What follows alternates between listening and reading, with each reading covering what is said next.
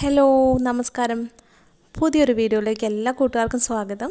അപ്പോൾ ഇന്ന് നമ്മൾ നല്ല ഹെൽത്തി ആയിട്ടുള്ളതും ഒപ്പം തന്നെ നല്ല ടേസ്റ്റി ആയിട്ടുള്ള ഒരു ജ്യൂസിന്റെ റെസിപ്പിയാണ് ചെയ്യുന്നത്. നമ്മൾ തണ്ണിമത്തനും ക്യാരറ്റും ഒക്കെ ചേർത്ത് തയ്യാറാക്കുന്നതാണിത്.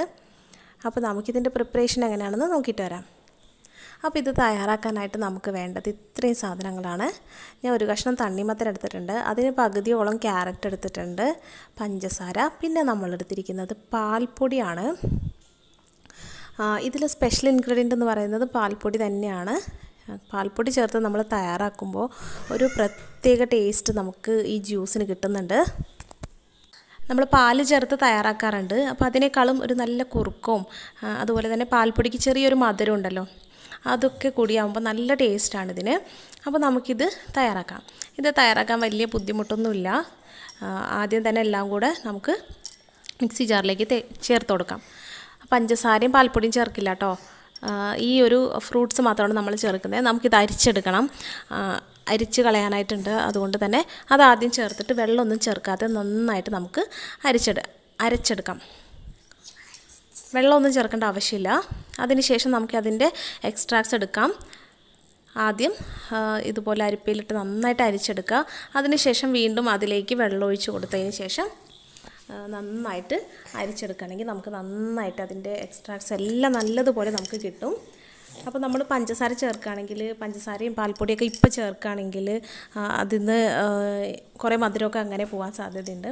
അപ്പോൾ ഞാൻ വീണ്ടും ഈ ജ്യൂസ് മിക്സി ജാറിലേക്ക് ഇട്ടിട്ട് നമുക്ക് ആവശ്യത്തിനുള്ള വെള്ളം ഒഴിച്ച് കൊടുക്കുകയാണ് അപ്പോൾ വലിയ ഗ്ലാസ്സിന് രണ്ട് ഗ്ലാസ് അളവാണ് ഞാൻ തയ്യാറാക്കുന്നത്. അതിനനുസരിച്ചിട്ട് രണ്ട് പ്രാവശ്യമായിട്ട് വെള്ളം ചേർത്ത് കൊടുക്കുക. പിന്നെ മധുരം നോക്കിയിട്ട് ചേർത്ത് കൊടുക്കുക. തണ്ണിമത്തനൊക്കെ നല്ല മധുരമുള്ളതാണെങ്കിൽ കുറച്ച് ചേർത്താൽ മതി. അത് നമുക്ക് അടിച്ചെടുക്കുമ്പോൾ ടേസ്റ്റ് നോക്കിയിട്ട് കൂടുതലോ കുറവോ ആക്കി കൊടുക്കാനായിട്ട് പറ്റും. ഇനി പാൽപ്പൊടിയും കൂടി ചേർത്ത് കൊടുക്കുക. പാൽപ്പൊടി ഒരു മൂന്നര ടേബിൾ സ്പൂണോളം ചേർത്താൽ മതി. രണ്ട് ഗ്ലാസ്സിന് അത്രയും ചേർത്താൽ മതി. ഇനി നമുക്കിത് ജസ്റ്റ് ഒന്ന് മിക്സിയിലിട്ട് അടിച്ചെടുത്തിട്ട് വരാം.